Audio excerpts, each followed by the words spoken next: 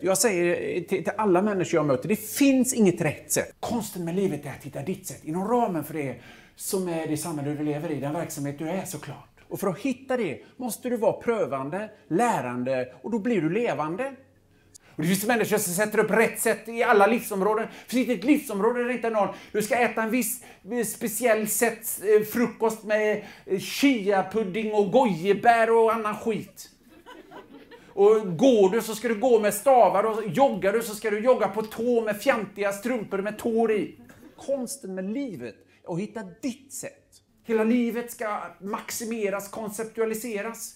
Och sen undrar vi varför vi mår så dåligt när vi har det så bra. Jag undrar varför vi inte mår sämre när vi är så korkade.